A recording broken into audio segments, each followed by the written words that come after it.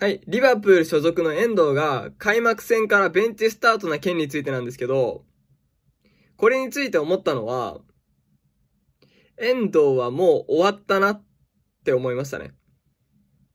っていうのも、遠藤の代わりにその定位置につきそうなのがフラーフェンベルフなんですけど、この選手が意外といい動きしてるんですよね。前まではここのポジションは正直遠藤以外には任せられないかなって思ったんですけど、そうではなかったですね。しかも、リバプールの新監督が、えー、ポジション